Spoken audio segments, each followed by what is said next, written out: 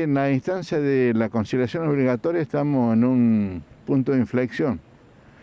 Eh, positivo en el sentido de que hay voluntad política de retrotraer el conflicto que se planteaba por la medida de fuerza que tenía la intersindical.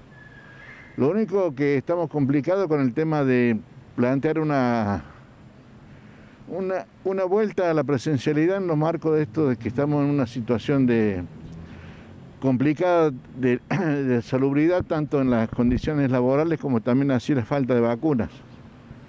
Digo esto para que por estos días por estas horas, solucionado todo lo que es la, este, la vacunación y la movilidad, que es el problema más serio para los chicos, los estudiantes, preocupados por la por el avance sobre la, eh, la juventud, esto de la infección, la, este, chicos jóvenes, este, convocar ahora la presencialidad en el marco de lo que significa las temperaturas y lo que es la, movilidad, garantizar que el transporte tenga una seguridad de que no contagie, podemos estar en una situación de mejorar y solucionar la presencialidad sin discontinuidad, que no tengamos que volver a romper esto de la continuidad pedagógica, que sería una gran solución, hacia lo que va a venir, que es el futuro inmediato, discutir si la promoción va a ser automática, si va a haber evaluación a fin de año y una preocupación no solamente de los docentes, sino de los padres en general.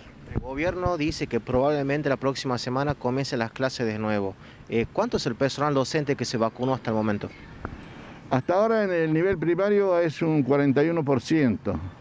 El problema serio lo tenemos en el nivel secundario que no es solamente el tema del 16% que nos han dado esa cifra, sino que la mayor este, movilidad de los, del sector. Los docentes, profesor taxi, como se le denomina, tienen mayor riesgo para eh, transitar escuela por escuela y lo que es, repito, la movilidad en cualquiera sea de los transportes, si no se garantiza eh, la salubridad afuera y adentro de la escuela, estamos complicados. ¿Están de acuerdo con la vuelta a clases?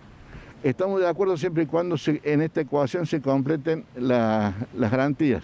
Siempre decimos que la prevención es lo más importante en salud y si no hacemos estos puntos, vacunación, transporte y sanitación de la escuela, estamos en una situación de que si aceptamos la vuelta tiene que ser con garantía de continuidad.